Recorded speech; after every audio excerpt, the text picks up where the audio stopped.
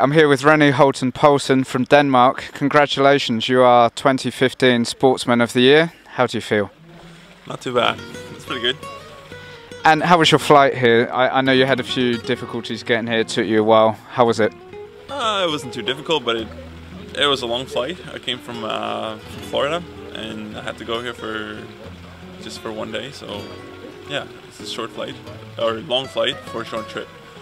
And and what do you think about the World Paddle Awards as an in initiative, as a project? Do you think it's important for paddle sports?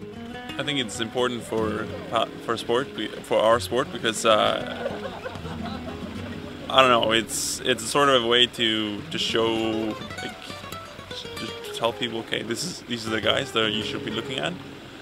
Um, but also just to honor people when they make exceptional results, and I think that's important. And have you taken time out of your training for the Olympics to be here today? One training session. That's it.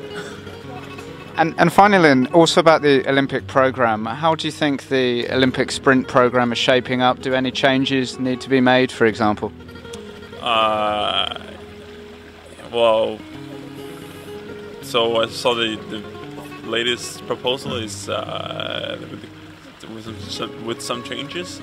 In my personal opinion, I'd like to that obviously for, for me because I'm a 500 and 1000, I'd like if it was 500 K1 and 1000 K4 in, but um, and K1, K2000.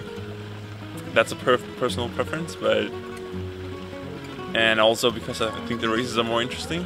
But um, yeah, it's it's hard to say, but I think for sure it needs to be equal men and women. Um, if women's canoe is the answer or not, I, I don't know, but I know for sure it needs to be equal, and we've got to meet those requirements. Sure, sure. And how do you feel going into Rio? Do you, do you feel like you're best? Are you prepared? Are you, are you aiming for the gold, obviously? Of course, I'm aiming for the gold, but uh, you know, this is a long way to go. And um, just because I'm aiming for it doesn't mean I'm going to get it. Um, I'm, gonna, I'm training hard, and then right now it's really hard to. It's hard to know if where you are.